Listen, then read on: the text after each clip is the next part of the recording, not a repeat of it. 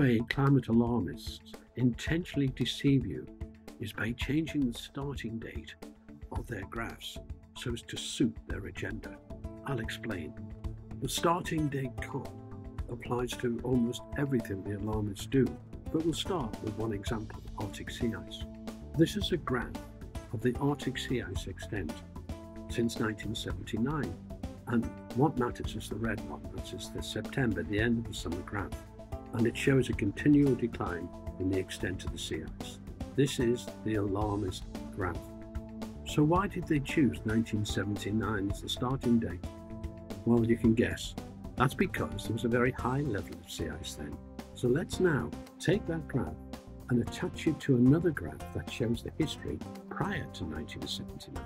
This graph shows, and it's from official IPC sources in 1990, that the actual sea ice extent was far lower just a few years before 1979 in 1975 and it is claimed these are measured by the same system by satellite. So they hid the 1975 low sea ice extent. But let's extend further back in time, not using satellite but traditional well-tested methods to observe Arctic sea ice extent. Now the full deception is revealed. The ice extent was much lower earlier in 1950s when the actual CO2 levels were considered very safe. There is simply no relationship shown here between the extent of Arctic sea ice and the CO2 level. The red line in this graph shows the mean Arctic sea ice extent for the last 15 years, and as you can see, it's pretty level. For another example, let's take wildfires in the USA.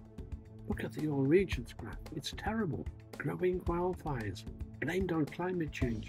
But if you don't start at that low 1984 figure for wildfires and look at the history of wildfires in the USA, this is what you get. Were 10 or 15 times the amount of acreage lost when CO2 levels were super low.